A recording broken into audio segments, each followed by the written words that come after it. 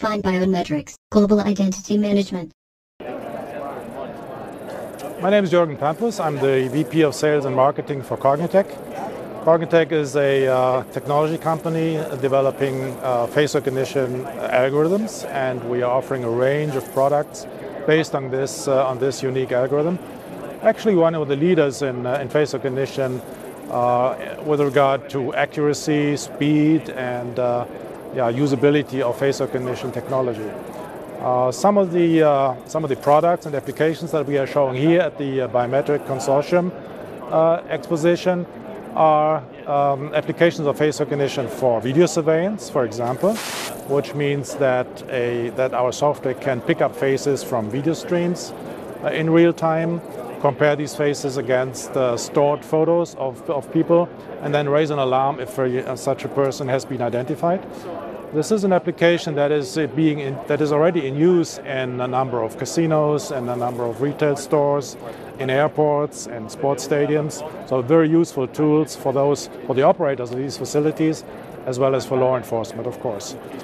For law enforcement, we are showing here another product that helps the investigator in the identification process. So. Uh, uh, typically, law enforcement uh, customers have big databases of uh, known criminals and uh, when uh, somebody comes up with a photo or video of a suspect person, they try to identify this person. And our tools help them to first to increase the quality of the of the picture because typically uh, this, a photo of a suspect uh, is bad quality, taken with a mobile phone, taken at an ATM, or taken with a video camera. So our tools help to increase the quality of this picture in order to uh, increase the matching accuracy uh, in order to, uh, to identify the person. So law enforcement is a very important market segment for us as well.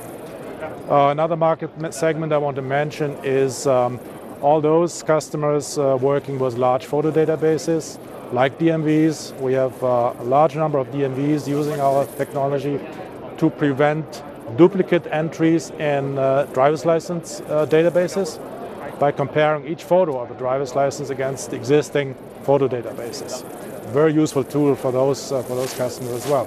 And this is used by passport offices around the world. Um, everything I talked about was related to government and the security, but there are also a number of uh, new applications for face recognition in the commercial area.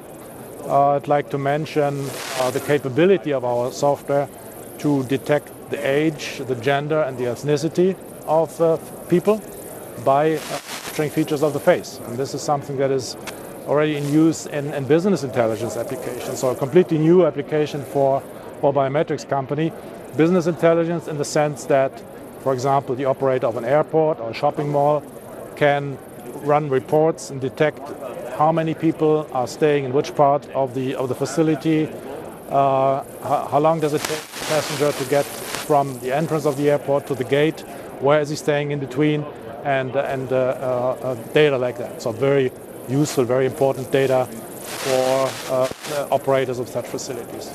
So, so this, the application of face recognition is very, very broad. It goes from high-tech uh, security applications down to photo album software. And uh, yeah, we see new applications coming up all the time. Thank you.